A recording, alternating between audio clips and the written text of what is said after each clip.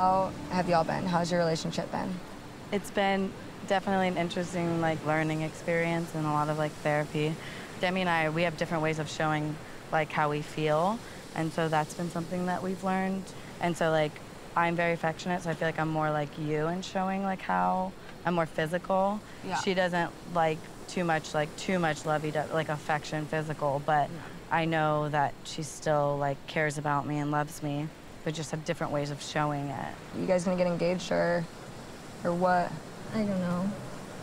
Do you want to be together for a really long time? I don't want to have this conversation right now. Do you want to be together forever? Can you stop? You're making me uncomfortable. How about just, do you want to be together anxiety. till tomorrow? Yeah. And maybe the next day? Yeah. Think about a ring. We love you. Come give us a hug. Oh, straddled. Mm. Oh. Love you. this is my worst nightmare. I don't like PDA because I don't like looking at PDA. I'm not like touchy feely with anyone, I'll give you a hug. We love you. but Kristian's just flirty with girls and it sucks. Like, I hate seeing it. I love you. I'll stay next to you all day.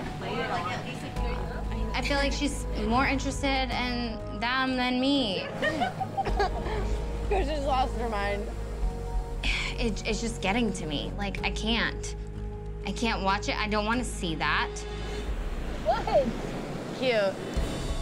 I, I don't know if maybe like she's lacking like physical touch from me, and so she's going to get it from somewhere else. But I don't think that that's fair. In private, it's fine, but I don't do that like publicly, and I'm not like I don't like that. I don't even want to look at her right now. Day card! Woo! Yay! I'm so excited to read it. Oh. So exciting. Demi,